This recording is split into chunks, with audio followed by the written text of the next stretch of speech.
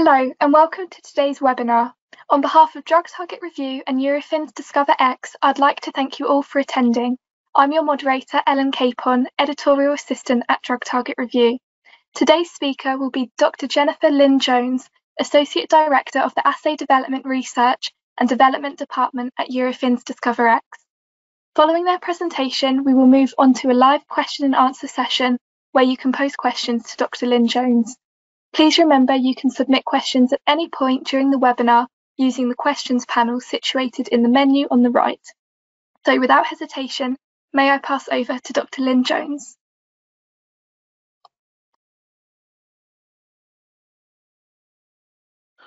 Welcome to this webinar on cell-based assays for advancing therapeutics targeting cytokines and their receptors.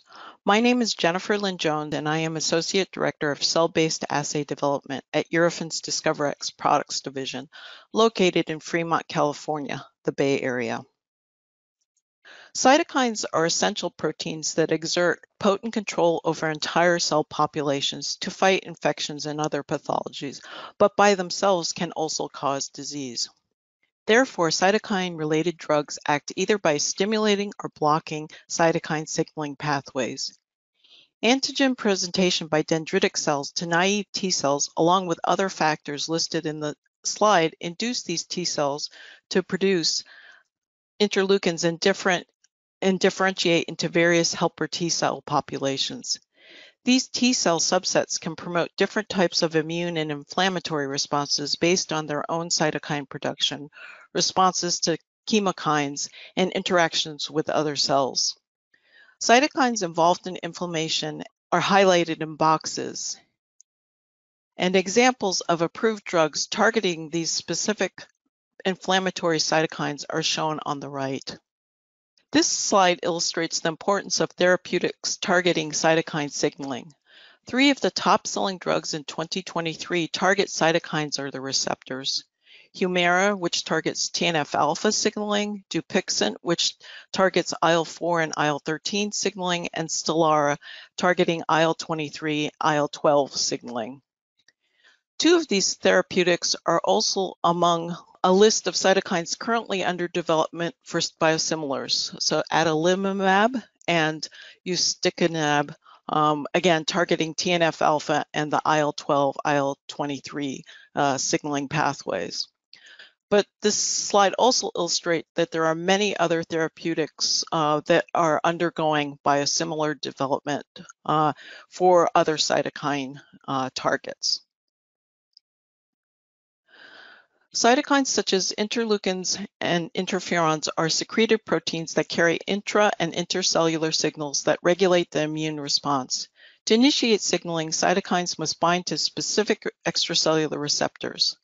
Some cytokines, such as type 1 interferons, have dedicated receptor chains. However, other cytokines bind to both specific and shared receptors. For the IL-2 family of cytokines, a common receptor subunit, the gamma C, also called IL-2RG, shown in purple, heterodimerizes or trimerizes to bind specific cytokines, while for the IL-10 family of cytokines, different combination of receptor pairs determine cytokine specificity. Diversity of cytokine signaling is created by these different receptor combinations, as well as the makeup of the different cytokines. Cytokines themselves can consist of homodimers like IL-2 and IL-4, shown on the left, or form heterodimers as well.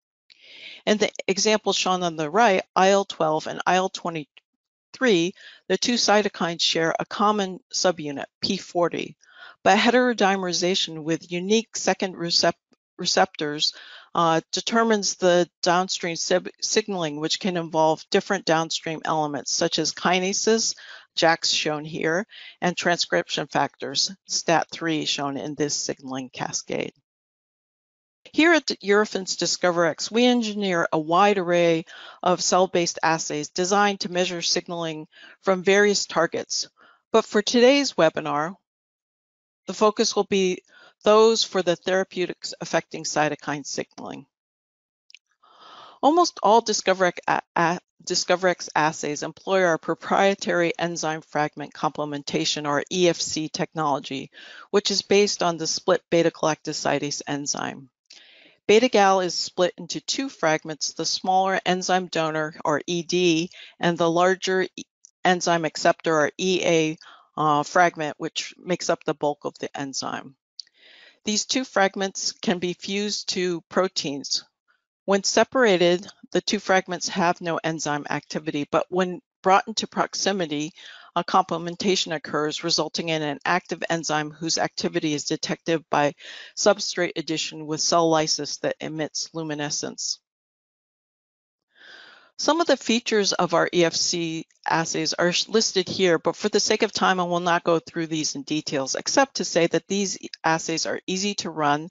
There are no media changes, washing steps, and they're very fast. And the results are robust and reproducible, and our assays are supported for easy transfer to test facilities. The two assay formats relevant to cytokine signaling that I will highlight today are our dimerization and reporter assays. So the schematic here uses IL-12, IL-23 induced dimerization to illustrate how the assay works.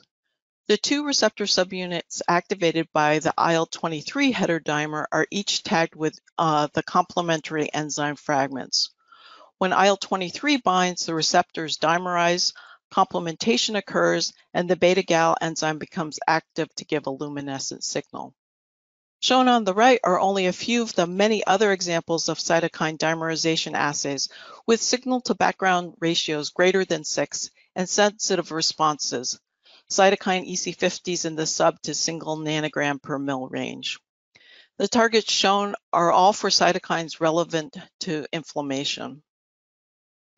The second type of assay that measures cytokine signaling activation uses a reporter gene that is tagged with a small enzyme donor, the small enzyme donor fragment, also called enhanced pro-label or uh, uh shortened to EPL here. Activation of the receptor complex by a cytokine initiates a series of signaling events that eventually results in transcription factor activation of a promoter driving expression of the tagged reporter. Activation is measured by the addition of enzyme substrate in the complementary enzyme fragment with cell lysis to quantify the amount of receptor protein generated. Examples of signaling reporter assay results for many of the same cytokines shown on the previous slide are presented here and show much larger signal to background ratios, greater than 14 and as high as 28, and as well as low EC 50s ranging from sub to tens of nanogram per mil range in, the, in this range. Here is a comparison of results measuring TSLP signaling using both our dimerization and signaling reporter assay. First, some differences in the engineering of the assays. Most of our dimerization assays use tagged receptors that are often truncated um, with the consisting of the extracellular and transmembrane domains um, and, and, tagged with either the ED or EA uh, enzyme fragments. Whereas signaling reporter cells require a functional full-length reporter that is either endogenously expressed or expressed from a transgene in order to activate the downstream reporter. In the case of the TSLP uh, reporter assay, only one of the re re receptors was engineered into the cells to obtain signal from the STAT5 reporter used for this assay. Notice that the signal to background ratios are very similar in both assays, but the, the dimerization exhibits greater sensitivity with a greater than 10-fold lower EC50 for TSLP. Now in this second example, uh, of, of the uh, with results from the two assay formats with IL-15 assays, IL-15 or an IL-15 fusion to the IL-15RA subunit was used for testing.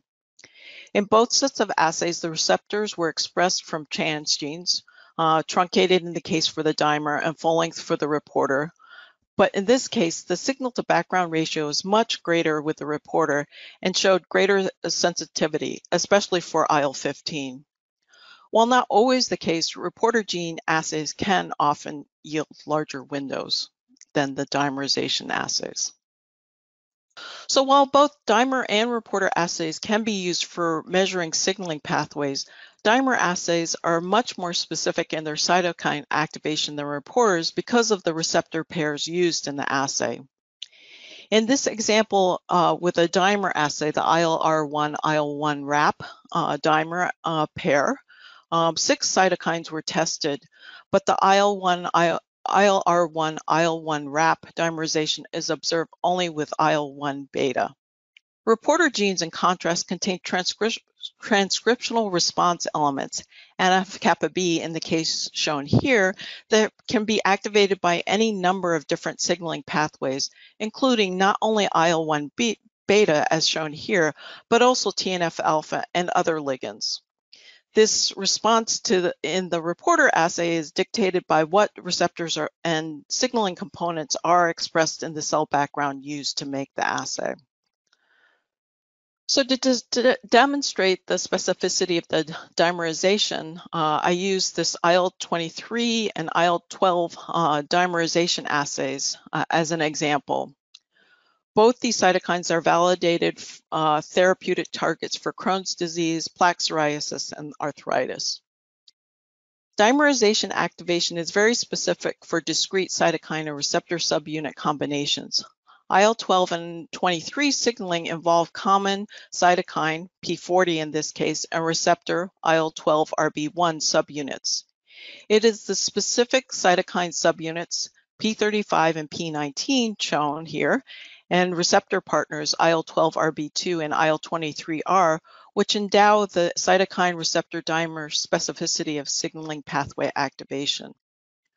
When both IL-12, IL-23, and a homodimer of the P40 subunit are used to test the two different dimer assays, IL-12 activates IL-12 dimerization, but not IL-23R, IL-12RB1 dimerization.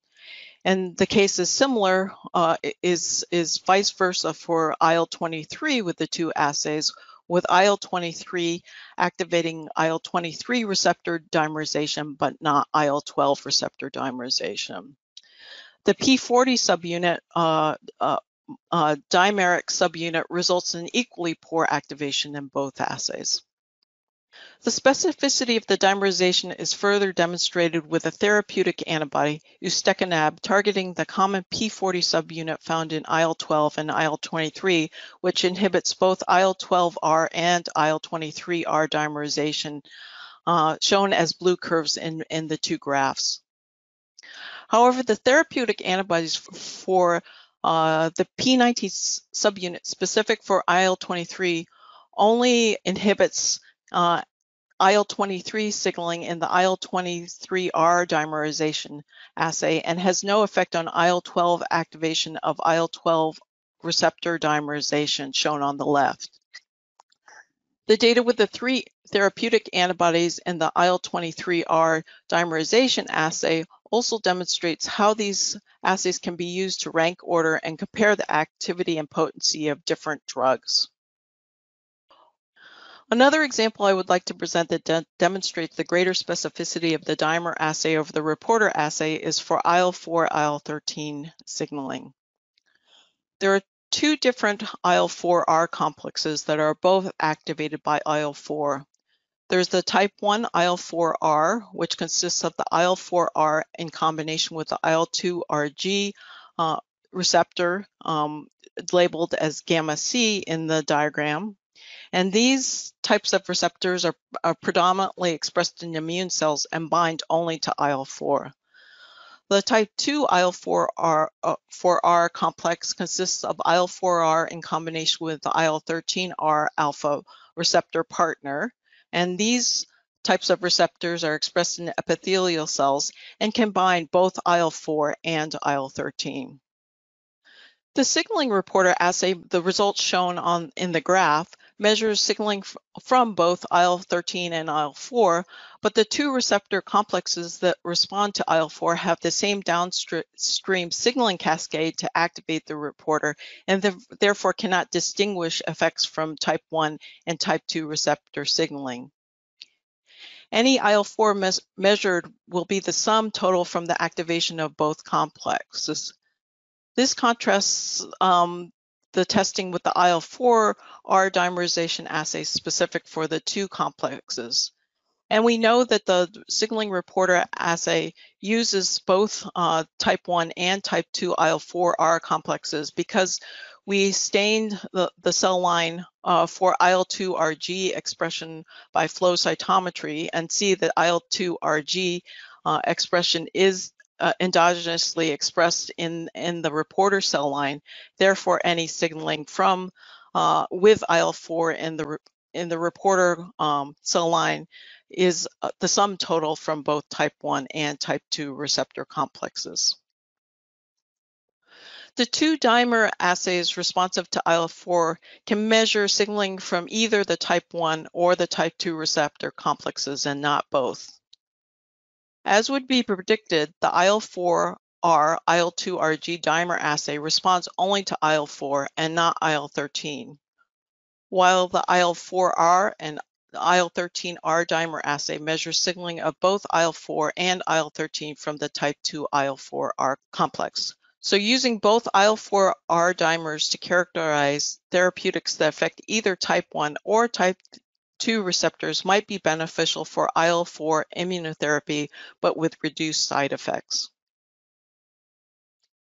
Testing with dupilumab, an antibody which targets the IL-4 receptor, blocks both IL-4 and IL-13 activation in, in both assays, in both assay formats. But again, only by using the two IL-4R dimer assays with different dimer, different partners can it be confirmed that dupilumab is blocking both type 1 and type 2 IL-4R complex signaling. In the case of IL-4 and dupilumab, in with the uh, reporter assay, presumably dupilumab is inhibiting both type 1 and type 2 receptors uh, activated by IL-4. Finally, one other example of another dimerization for IL-17, which is activated by both IL-17A and IL-17F. IL-17A and IL-17F exhibit different efficacies and sensitivities and can be used to assess the effects of secukinumab, a therapeutic for IL-17A when used with IL-17A, shown here.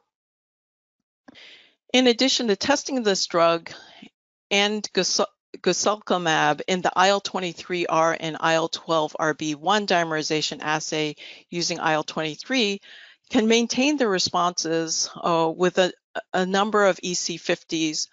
They can maintain their robust responses and sensitivity to cytokine and drug in the presence of normal human serum. This is important for uh, using these assays for screening of drug neutralizing antibodies in patient serum.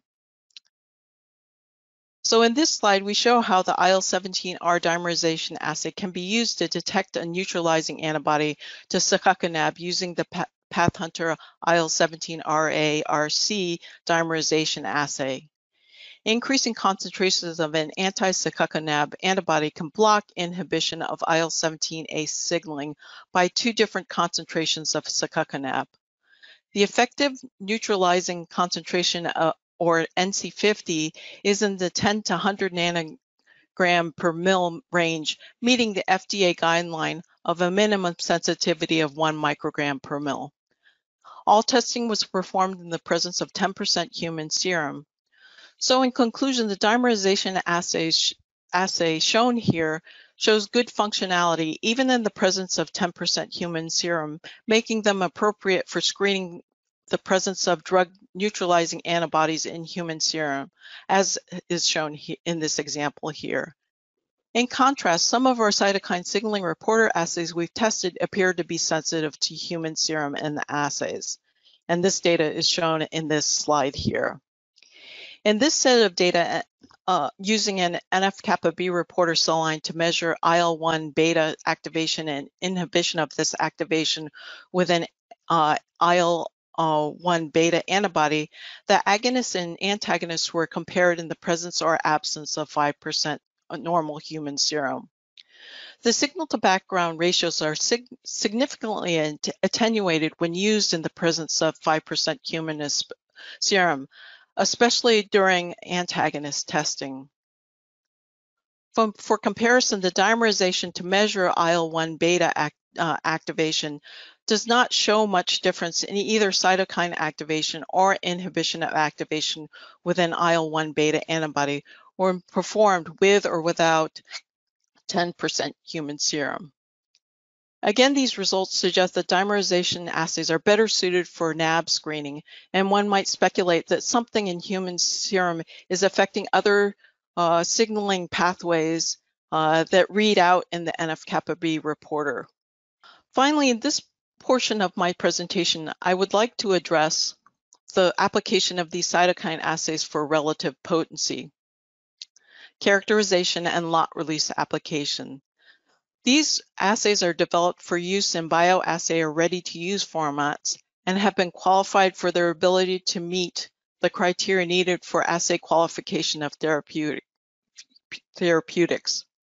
Some of the properties that are listed here that the assays reflect MOA for the drug, can measure changes in drug potency, and are optimized to give robust and reproducible results.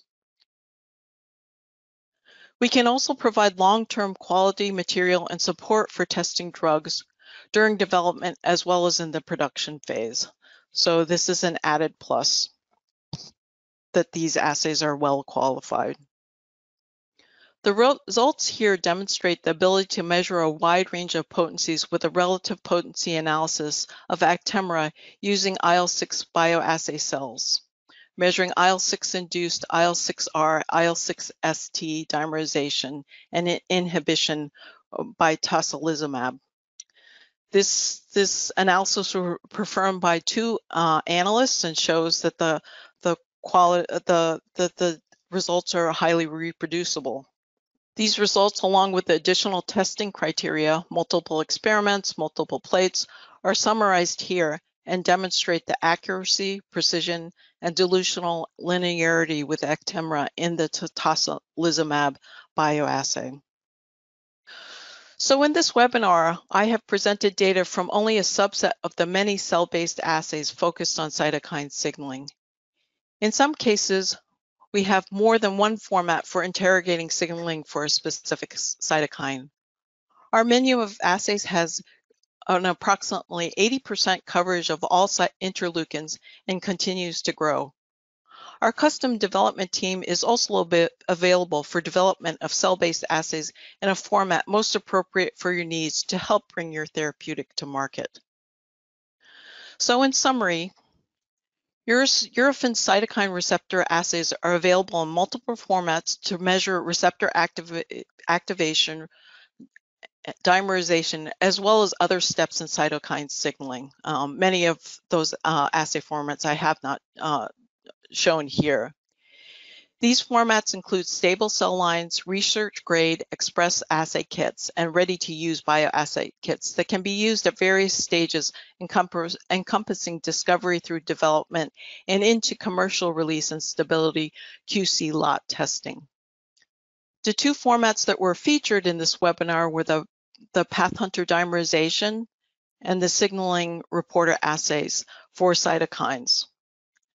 Evidence for the specificity for the dimerization assays was presented and their suitability for NAB testing due to their insensitivity in the presence of human serum. Reporter assays are also offered as an alternative for measuring changes in cytokine signaling and can often provide larger assay windows and sometimes greater sensitivity for screening. Both assay formats have been used to develop bioassay kits that are suitable for relative potency testing. I would also encourage you to contact our custom development team for additional assay needs, including new targets, MOAs, or drug characterization. The link for custom projects can be found on the web link page listed on the slide shown in this link here. Thank you very much for your time and attention.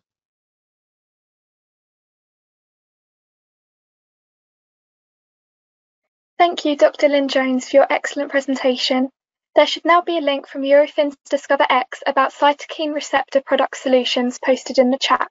Please feel free to look over this. We will now have the pleasure to introduce our question and answer session where Dr. Lynn Jones will answer all of your questions. Don't forget you can still submit your questions using the questions panel in the menu on the right. So let's take a look at the first question. How would you rate the overall performance of the assay? So uh, I just um, sent out a chat message to the questioner to ask um, what uh, what which receptor he's uh, he or she is specifically referring to. Um, I mean, both uh, both assays are excellent. I mean, they both uh, uh have you know excellent responses to cytokines and um, have been used in in various formats as I've discussed in the webinar. So. Thank you. Given that you have different MOAs captured through different pathways for your cytokine assays, what should the user keep in mind before selecting one? I think um, this is, you know, uh, a very critical decision for any uh, person who would be interested in testing their their drugs or their um, molecules uh, with these assays to decide between the two formats because both the dimerization and the reporter assay formats, um, while they both represent the true mechanism of action for cytokine receptor activation, they record um, very different events in the signaling pathway. In the case of the dimerization assay, it's a it's a very early event, and that provides a lot of specificity as to uh, you know how how your drug is affecting um, uh, cytokine receptor activation. Whereas the signaling uh, reporter assay is, is much further downstream in the signaling cascade and therefore can be affected by uh, other signaling pathways.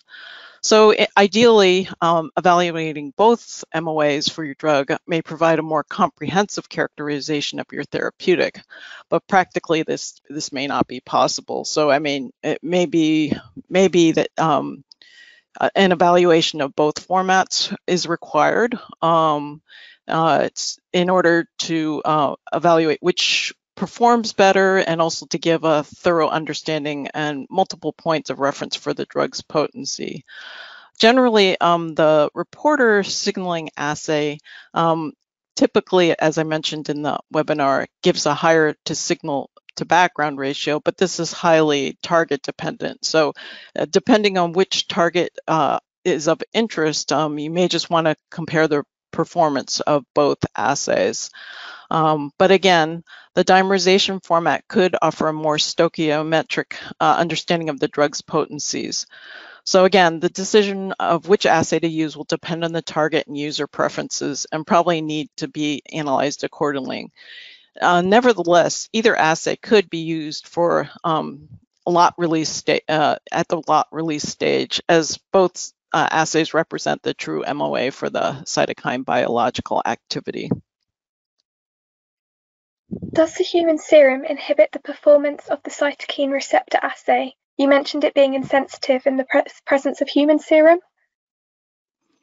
So um, all our assays are, well, uh, the different assays will have different amounts of serum in the assay. Um, and, uh, but uh, uh, um, but yes, that, so so the performance that you see in, in many of the graphs is uh, with varying amounts from 1% to, to 10% uh, serum. And then, and as as we showed in the during the webinar, the in the case of uh, the presence of uh, normal human serum, um, the, the, dimerization assays seem to be more tolerant of have less effects seen with in the presence of human serum. Uh, please could you show us once again the slide about the diversity of interleukins receptor family? Uh, do we have the ability I do to... your present, Jennifer, I have your presentation. Do you know which slide that might be on and I'll pull it up? Okay, let me, let me look. Um, it is slide five, I think, okay. is the one. Great, one moment. In the meantime, what is your high-level estimate of timeline for customized dimerization assay development? So um, I think, yeah, I mean, so for customized, again, it, it depends on the complexity. I mean, the dimerization assays can be a little bit complex. Um, so, but roughly around six months from the time uh, from the initial cloning of the receptors constructs to the to generating passage uh, stability data for the final clone. Are your cytokine assays used for potency or NAB testing in a quality control environment, or are there any BLA filings that could be referred? Let's see. Um, yes, uh, they um, yes they're they are designed as an easy uh, to use means of measuring drug potency and neutralizing antibodies um, in patient serum in, in, QC environments. And as I showed, the, the dimers are especially uh, uh, suited to this because of their tolerance to, to normal human serum, the presence of normal human serum. One key example is our PathHunter U2OS IL-23R IL-12RB1 dimerization assay, which has been used for potency testing of a first-in-class IL-23 P19 subunit inhibitor biological therapy, or Tremfya from Janssen, as noted in the BLA filing. What is your high-level estimate of timeline for customized dimerization assay development? Um, I think I just answered that in the previous one. Sorry. Uh, uh but I, I, think the short answer was around six months, and that's uh, very, you know, give or take. How passage stable are your cell lines? Have you tested for it, and do you observe any loss of receptor expression at higher passage numbers?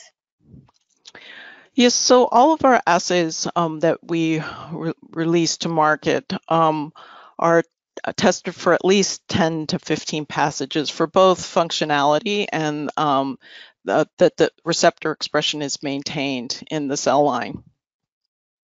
Um, but since uh, uh, uh, but since we typically use viral transduction for assay development, which stably integrates the expression cassette into the host cell genome, we find most cell lines maintain receptor expression and assay functionality. So most clones are that we develop are stable. Um, for cell lines that will be used to develop bioassay lots, the lines are tested for stability through 30 passages, and some assays have been confirmed to be stable for uh, 40 passages and beyond. Does Eurofins offer any reporter gene assays for measuring mouse cytokine signaling in rodent cells? Um, again, this would be addressed to our custom assay team. I mean, we do um, generate uh, ortholog uh, assays for, for many, both the dimer and the reporter assays. And um, we have a lot of experience working with many different cell backgrounds. So uh, that would definitely be something that we could do.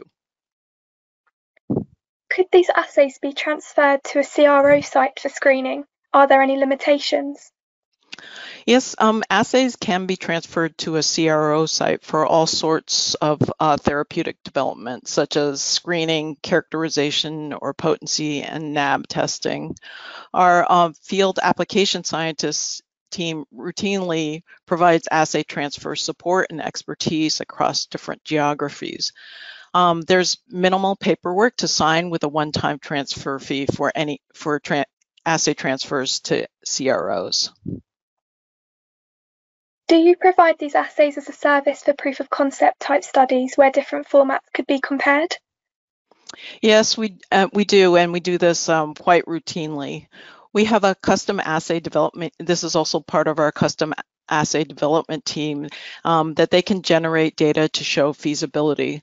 Um, such data would, could consist of comparing a client molecule in different assay formats or optimization of assay workflows, and we can help transfer the assay to the receiving site quite efficiently. Please join me in thanking Dr. Lynn Jones. As you leave the webinar today, a survey will appear on your screen asking you to rate the webinar. Please take a moment to provide your feedback. If now is not a good time, the survey will be sent to you shortly via email. If you could complete it when you can, we would greatly appreciate it. On behalf of Drug Target Review and Eurofins DiscoverX, I'd like to thank you all for attending today's webinar. We hope to see you again soon. Goodbye.